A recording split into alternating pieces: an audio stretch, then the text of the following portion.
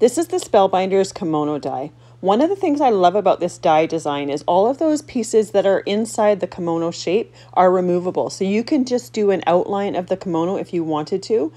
I'm creating a card with all those pieces in, so I taped them in place first. I'm using a piece of cardstock here that has some double-sided tape on it.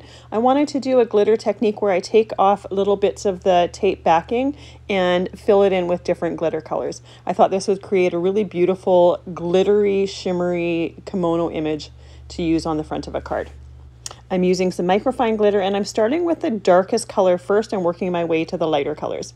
After each glitter color, I'm burnishing with a bit of tape backing and that's just making sure that that glitter has really good contact with the adhesive and it also removes any glitter from the rest of the tape backing. Once I'm done with the glitter inside, I'm adding the black outline, which is just a die cut of some black cardstock, only using the outline, not the inside pieces.